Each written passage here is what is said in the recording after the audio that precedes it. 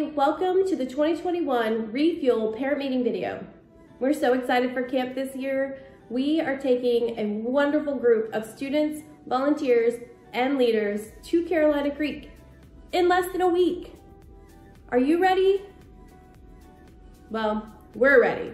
I just wanted to take a minute to go over a couple of things with you so that way you know what to expect, what to pack, um, and what we're gonna be doing this weekend coming up with your students at camp. The first thing is please read the email. Um, I appreciate you watching this video, but we're not gonna give you all of the information in the video. So take a moment, read the email. One of the things in the email is a COVID screener. The camp requires that we do a COVID screener form for each person attending camp. Your check-in process on Friday will go a lot smoother if you're able to have that COVID screener filled out before you arrive. Uh, I just wanted to take a minute to tell you about our, our curriculum we'll be using this weekend. It's called Pause, or The Pause. Um, and we have four amazing sessions for this curriculum we are going to be doing with your students this weekend. They will all receive a book like this. We are gonna have a fun sticker so they can write their name on it. Um, and then it has all of the information for their sessions and their small group sessions in here as well. First session is called Hitting Pause. And it's to help students understand the basics of what it means to hit pause and to begin thinking about what's keeping them from doing so. Session two is called Talk the Talk, and it's to help students grasp the extreme importance of prayer in developing and maintaining a relationship with God and to teach them Christ's model for praying to God. Session three is Knowing the Bible, to help students go deeper in their knowledge of God by applying the Bible study techniques learned in this lesson. And then session four is called Hitting Play. So now we're gonna lead students to embrace the mission of being God's messengers of the reconciliation that Christ offers to all people this Bible study or uh, curriculum, sorry, that we're using is very, I'm very excited about it. We're hitting pause. How often, who, who out there, parents, need to hit pause sometimes? Um, our students do too. And we're also very excited because we this year have purchased these devotionals. So we are excited because they'll be able to take what they learned at camp and take that into real life application. These are four weeks of devotionals that they'll be able to do following camp uh, on their own. We highly encourage you parents to encourage your students to do this. Ask them about it. Hey, have you had a moment to do this? What is it about? How's it going? What did you think? Those are kind of questions that are great for keeping the dialogue open, learning about what they learned about, and keeping them uh, motivated to do it. I'm gonna go over the schedule and the packing list with you. Um, it's all pretty similar if you've been to a previous camp of what we do. There's a couple of changes. The first change is that we are aiming to leave early uh, on Friday, earlier than we normally do. We usually get to camp pretty late and it gets us started late, so we're gonna try to leave a tiny bit earlier. Check-in is gonna be in at 5 p.m. on Friday, from 5 to 5.30. And you need to feed your kids before you come. We are gonna have some pizza later on in the night, probably closer to 9, 10 o'clock. So make sure that your kids eat something for dinner. Check-in process is gonna be to enter through entrance five. Miss Kim and Miss Angela are gonna be there to get you guys all checked in. You'll bring your luggage into the Life Center. We'll circle up, we'll talk a little bit about expectations and rules, and then we will offload you uh, onto the bus, on, on board you, that's the right, on board them onto the bus and head to camp. That's gonna happen uh, ideally around 6.15. And then that night we're gonna have camp session, we're gonna have pizza and small groups, and we're gonna have an amazing late night game. Um, and that's gonna wrap up day one. Day two, I'm not gonna go through all of that with you. I could, uh, but it's not completely necessary for you to know. But it is a fun-filled day of sessions, breakfast, lunch, and dinner, and some amazing field games and super fun things that we have planned for you.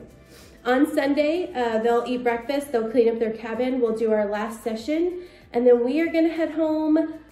It says 10.30. We usually end up a little bit earlier. What we'll do is we'll keep you updated on Facebook for our travel time so that you know when we're gonna be back at Gateway. Uh, our goal is to be back, we'll be back for sure before 12.30, but keep an eye out because it could be earlier than that.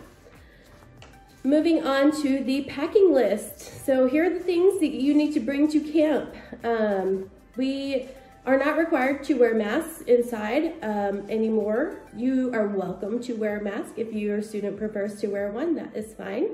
Uh, we recommend that you bring hand sanitizer, bedding and a pillow. Sleeping bags work perfect for the type of beds that we have uh, at camp. you need to bring towels, soap, and toiletries. This includes deodorant, toothbrush, toothpaste, shampoo, conditioner, that kind of stuff. Uh, they do not supply that. They do have toilet paper, so do not need to pack toilet paper, but they don't have towels. I recommend two towels, so that way if we have one that's wet, we'll hang it over a bed, let it dry. If they get wet in an activity or game, they've got the other one as backup. Insect repellent. Uh, we are going to be out in the middle of the woods. There probably are insects or bugs. So if you're if you need that, just make sure it's non-aerosol. So the little pump kind, perfect. A flashlight or headlamp. Um, we are doing some late night games and other activities once it's dark. It does get dark pretty early now.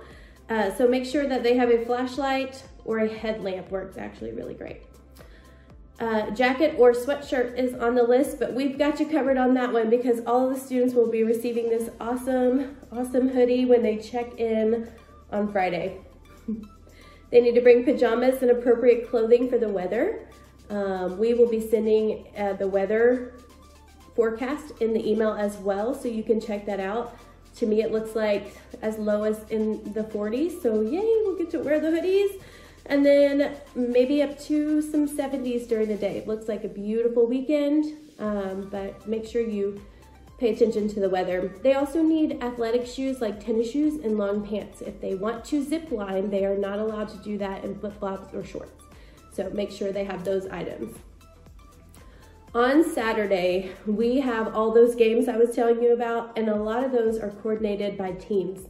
And uh, Ryan has set up team colors for each of the teams to wear on Saturday. We will be providing them with the bandana uh, that is in their team color. So we're asking all of the students to wear their team color on Saturday. So if you're team red, come decked out in red. If you're team green, come decked out in green on Saturday. However they want. If they want to wear face paint, if they want to wear tutus, whatever more the better. Let's make it fun and have a good time with that.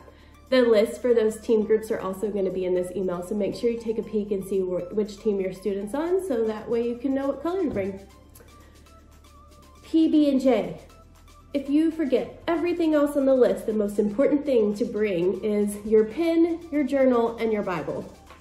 They're going to need these at every single session. They will not have access to their phone app, so that does not count. If your student does not have a Bible, please get with me, Roland or Ryan, and we'd be happy to make sure that they do have one. We do have some available um, that we can get to them. Clean clothes for Sunday to come home. Alrighty, and then medications. We're super excited this year because we are bringing Miss Holly Richardson along. She is one of our safety team members here at Gateway. She is going to make sure that we are safe all weekend long. She's also going to handle all of our medications. So she will be responsible for handing out medications when it's time for those students to take them.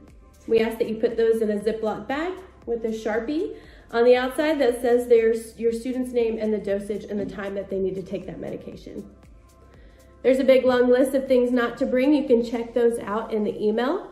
Uh, students can bring their cell phones, but here's what we're planning on doing. This weekend, it's called The Pause, right? So we're taking, whoops, we're taking a pause from cell phones with students this weekend. So what we're gonna do, we're gonna allow them to have their phones while they're on the bus all the way to camp. Once we get to camp, before they get off the bus, we're going to ask them to power down those cell phones, power down those Apple Watches, all those things that they have. And we're gonna go ahead and take those and put them in a secure place. They will not have access to them the entire weekend until on Sunday morning when we're on the bus coming back home. We will power them up, give them back to them. They can charge them on the bus. Uh, this is a really cool opportunity for them to unplug, no distractions, and just take a minute to enjoy nature, enjoy each other, and learn about Jesus. So I think that's about it for the packing list. Uh, oh, I forgot, on Friday, part of our game is outdoors at night. So we're asking everyone to wear camo or camo colors if you don't have any camouflage on Friday when we leave. Uh, so go ahead and get decked out in your camo. It's gonna make that late night game a lot of fun. So two kind of opportunities for specific clothes items. Camo on Friday, team color on Saturday, whatever you want on Sunday. Makes it pretty easy. If you have any questions, please feel free to email me, uh, call me. Our numbers are in the email. Roland, myself, and Ryan's cell phone numbers are in there, so feel free to give us a call if you have any questions uh, or any concerns. We are super excited. We'll see you on Friday.